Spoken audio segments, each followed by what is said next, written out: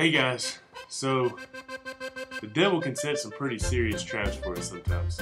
And sometimes they're really well hidden and we don't really see them. Other times they're right out in front of us. And one of the only ways we can understand and see where they are is, is really by submitting to Jesus. But they're out there. Just like a cheese, just like cheeses to a mouse, uh, the devil's traps are to us. Sometimes what we don't, what what we do is we, we just we just kind of just dive in and we don't really think about how much it's going to hurt. We don't think about the pain. We don't anticipate it at all. I'm a little scared right now. But uh, sometimes we just step into the trap without even worrying about consequences.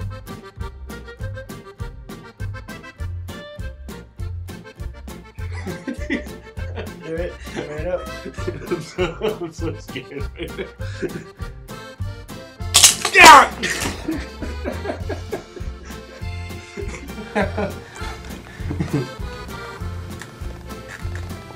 and, and sometimes we watch the trap get reset right in front of us, and we just, you know, we just jump, we just jump right back into it.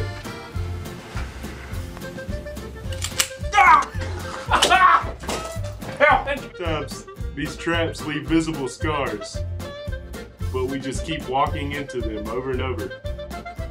What's it gonna take for us to start realizing these are Satan's traps?